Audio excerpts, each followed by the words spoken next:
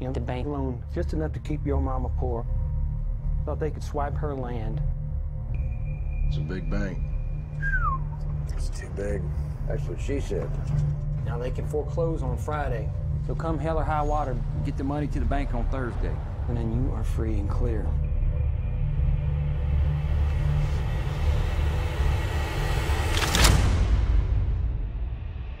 Little brother, go get that money. Good morning, folks. Open the drawers. You got a gun on you, old man? You damn right I got a gun on me.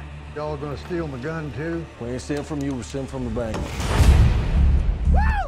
You hear about these bank robberies? You may get to have some fun before they send you off to the rocking chair yet. I may have one hunt left in me.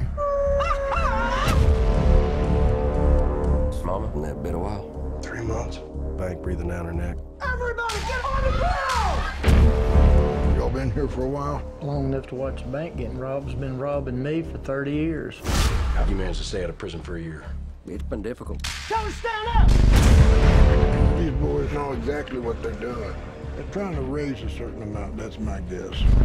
Let's go! Run! Run! Toby, It's a good thing you're done. More down it. every step of the way. Little advice? Go see your boys and mom. You know, you talk like we ain't gonna get away with this. I've never met nobody who got away with anything, ever. Then Why in the hell did you agree to do it?